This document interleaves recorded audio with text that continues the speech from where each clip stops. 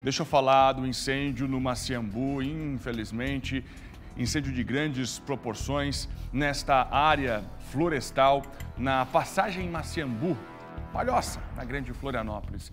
Este incêndio mobilizou equipes do Corpo de Bombeiros Militar de Santa Catarina nas últimas horas, inclusive durante esta madrugada. A gente acompanhou o resultado desse trabalho de contenção das chamas e também ouviu os moradores que estão realmente preocupados com o que vem acontecendo em relação a incêndios no Parque Estadual da Serra do Tabuleiro. A matéria é de Angélica Varaschini.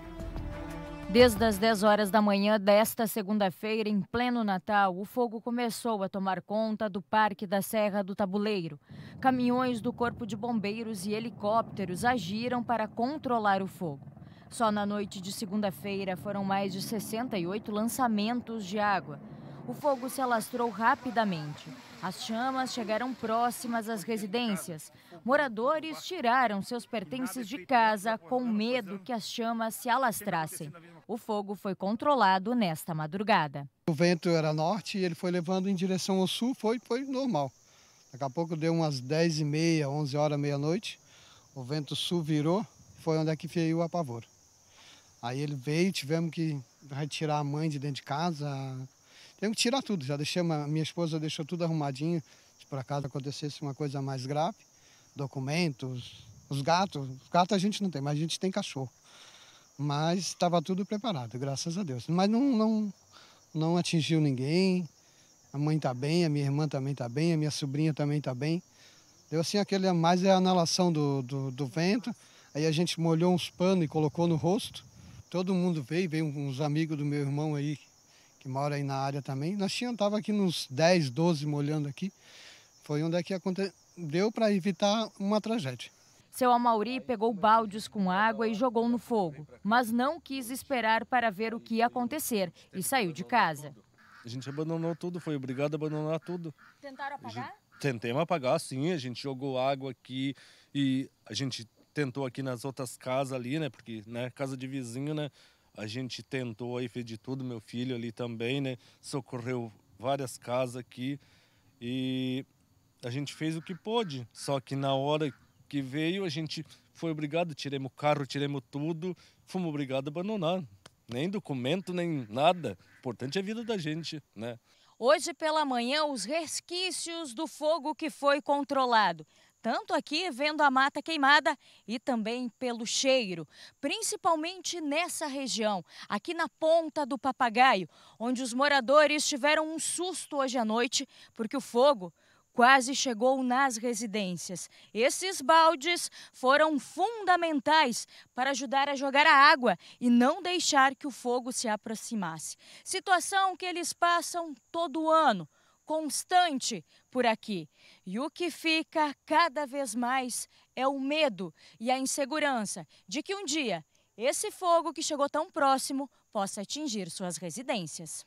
É triste, é uma, uma coisa muito triste. É um absurdo, né? Porque a gente não dorme, a gente, né? Como que vai dormir? Não Essa tem... noite quase nem deu para dormir. Não, não, a gente não dormiu a noite toda, cuidando aqui, né? Ficando, né?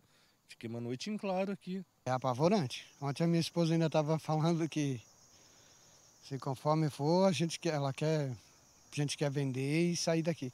Mas eu digo assim, porra, aqui foi onde é que a gente foi é suado. Vai pegar assim, por causa de alguém que toca fogo em alguma coisa e acontece isso. Todo ano é isso.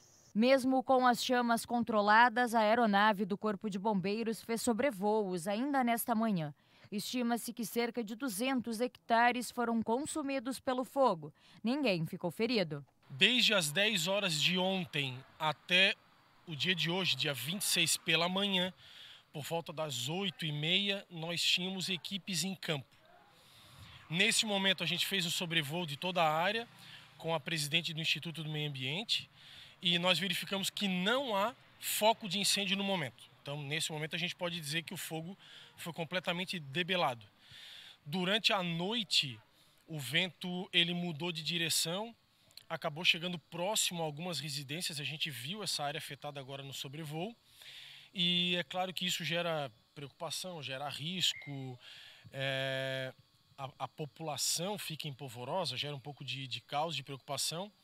Mas o nosso pessoal ele conseguiu sair de uma área que estava atendendo, se deslocar, proteger aquela área residencial. Nenhuma residência foi afetada, nenhuma pessoa ficou ferida e neste momento a gente pode dizer que não há focos de incêndio. Tudo indica que a causa do incêndio seja criminosa. Após o controle do fogo, a preocupação é encontrar formas de prevenir situações como essa, que se repetem constantemente. Já estamos em busca com o governo federal de recursos para a gente conseguir ampliar o monitoramento nessas áreas, tá?